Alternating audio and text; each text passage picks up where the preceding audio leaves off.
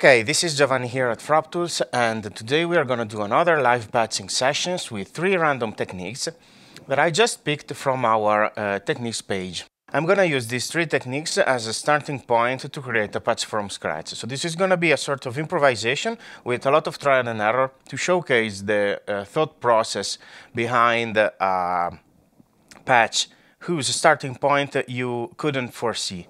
So um, today's picks are the complex envelopes number two, the USTA polymeter number one, which you already used, and uh, the wave folder ratcheting. So um, we have one technique on the USTA, one on Falistri, uh, which was one of the first one that we filmed, as I recall and one on Brenso uh, ping circuit. So first thing first, um, I think I'm going to start with the USTA polymeter since it uh, implies that my two oscillators on the Brenso are in tune. So this is always the trickiest part, or at least the one that you cannot do on the fly. So um, I'm going to start by creating a new project on the USTA sequencer. Initialize, yes, okay. Um, then to start, I'm gonna uh, transpose my sequence up, I don't know, four octaves, and um, uh, clone track one over track two, which are the ones that I will use to control Brenso oscillator number one and Brenso oscillator number two. I'm gonna play the sequence so my two oscillators are uh, more or less uh, uh, already receiving a, a CV and uh, they are they should be tuned to the same note. Uh, so I can see that there is some phasing going on. So I can even try to see if I oh well there is some phasing because this is already set as an LFO so there we go. Nice. Better. Much better uh, then I'm gonna patch my yellow oscillator on channel 1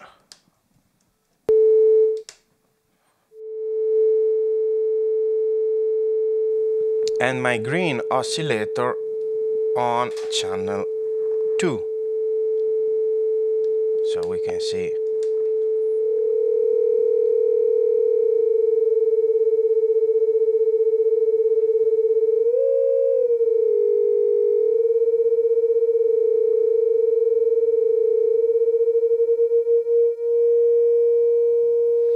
Okay, so as always I am using just uh, a relative tuning, so the point here is not to play straight to A440, but to have at least two oscillators that are doing the same thing. Always make sure that all the modulations are off.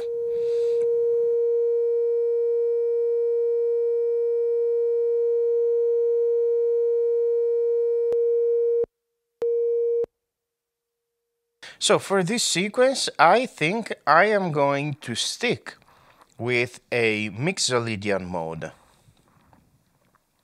So my I'm gonna set my scale to uh, Mixolydian. Apply the setting to all the tracks by holding down set all. So now all my tracks are gonna play Mixolydian. And basically I am going to create track track one. Sequence um,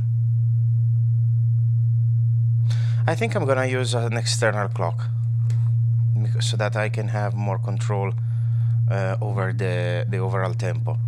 So I'm gonna set all the tracks to work with external clock. Okay. Um, now I am going to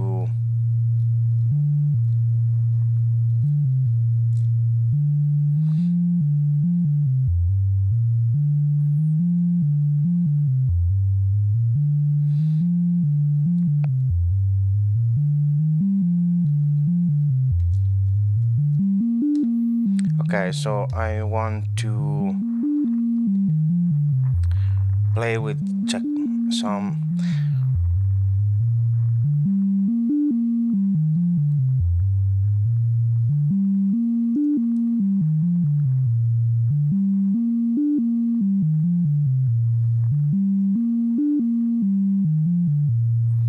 Okay, so in this case, I created a length pattern. I didn't pay too much attention to how um, it should sound because I used the length value here so to so that um, it would say into 16 uh, stage length. For example, here it is already 17, so it would be an odd meter, which is what we are after, but not now. So I am going to clone my track 1 over track 2, and now they should be exactly the same.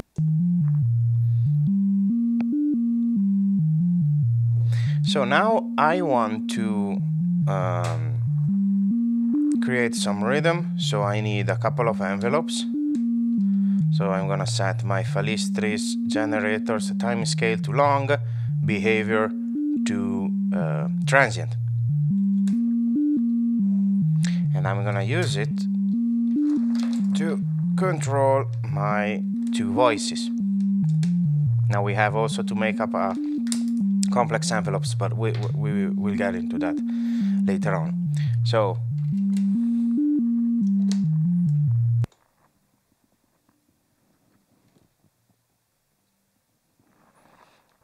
gate and gate.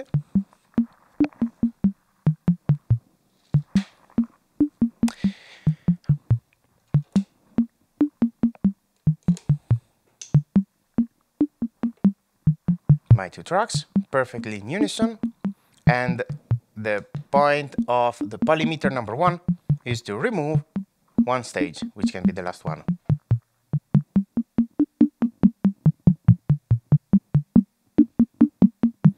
this will create this uh,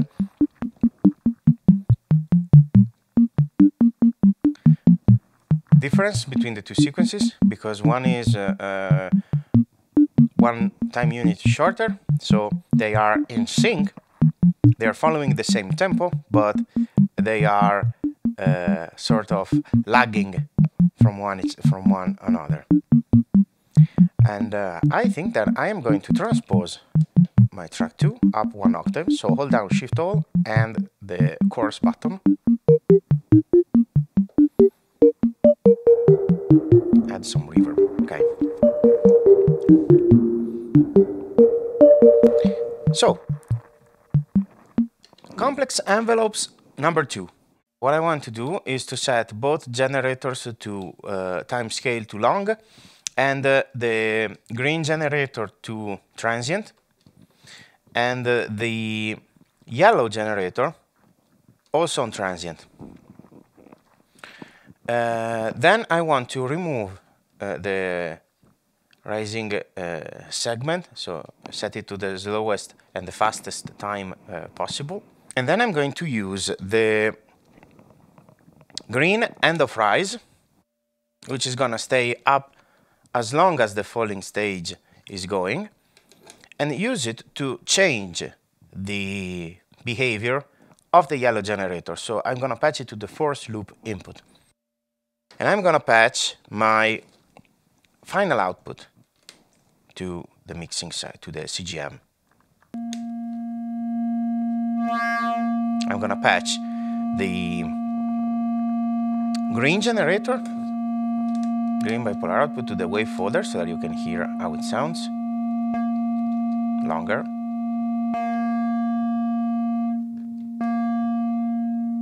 Okay.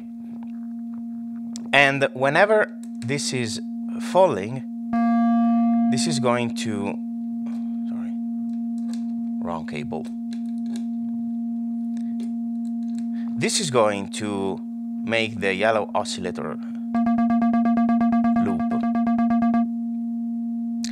Now, um, what I want to do is to patch the green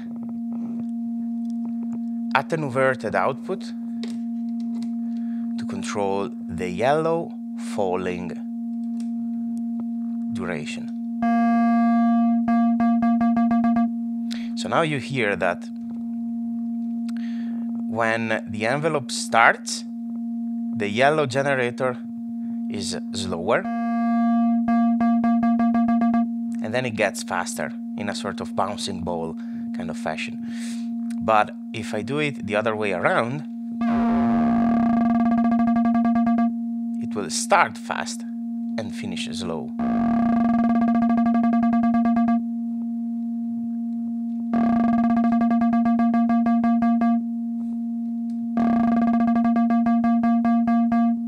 and I can control the amount through the wave uh, through the attenuator attenuverter and another thing that uh, we can do uh, it, which was on the original patch was to use the four quadrant multiplier and override the internal semi-normalization by using the green unipolar output to control also the yellow generator's amplitude. So, so the yellow envelope will get progressively uh, slow, um, smaller in magnitude, as well as slower in rate. And it can also work with the bouncing ball effect.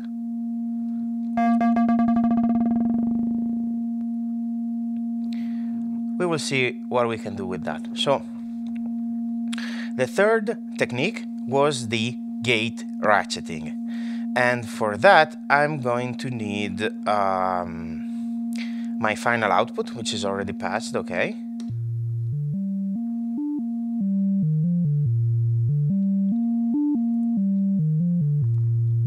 So I'm going to select, uh, since my, on track 1 I have my gate A controlling this Falistri,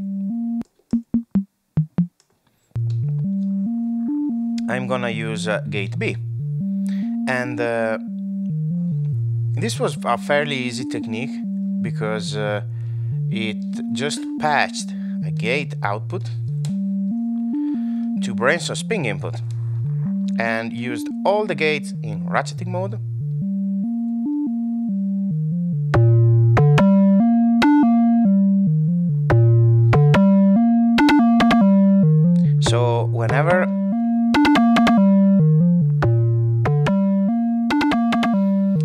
whenever there are more than two uh, values on the gate layer, they will no longer stand for a longer gate as for uh, the blue color, but whenever the color is green, it will repeat the gate. So it will create two or three or four equally spaced gates within the time length, within the stage length.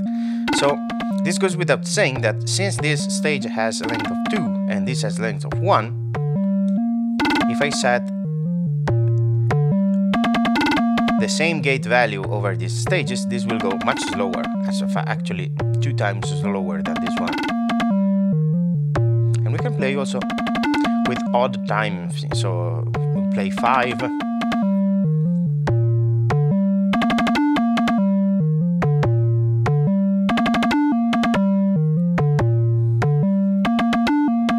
let's see how this sounds together with the first uh,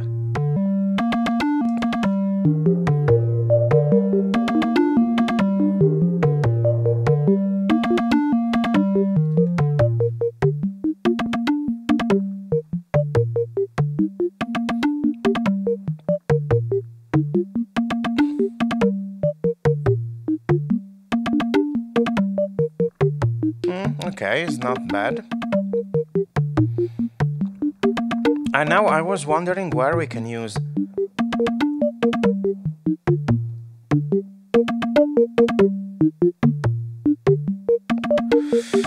I'm not happy with the scale. I know I started with the Mixolydian, but for this polymeter, I think that last note we have the easiest is to follow what's going on. So I'm gonna switch to a major pentatonic. Whatever, this one.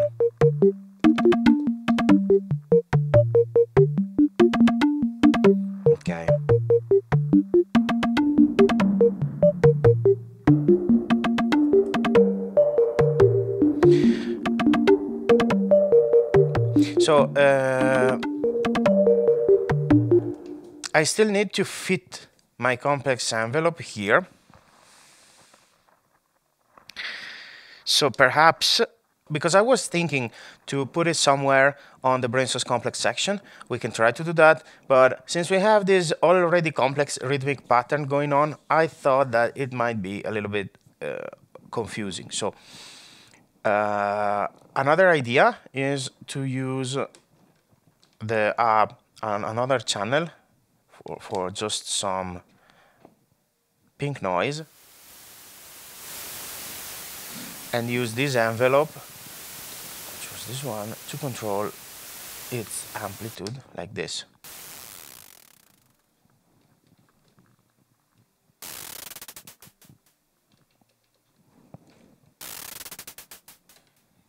which is a sort of uh, uh, shaking percussion that I can control with a gate at the start of every cycle of track 2, which is the shortest one. So it's the one that is offsetting. So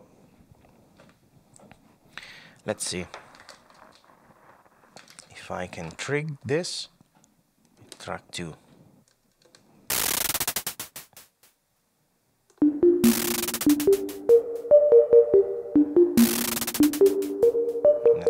Let's try with blue noise, which is a little bit more delicate.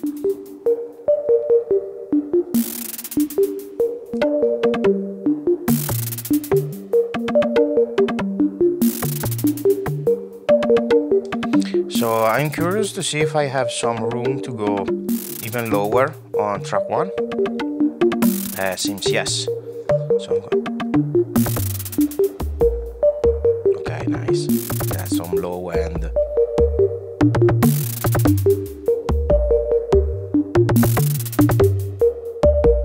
But you know what? We are not forced to use the gate ratchet only over the wave folder. For example, I could have used it also on track 2 to control file but we might save this for another episode. So far, I like it. I think that we can cap it here for today, and I hope you like it too. And as always, uh, if you want to recreate this patch based on the three techniques that I used at the beginning, feel free to do so. If you want to share it, use the Frap Ideas hashtag. We'll be happy to take a look at what you came up with. I hope you had fun, and I'll see you next time.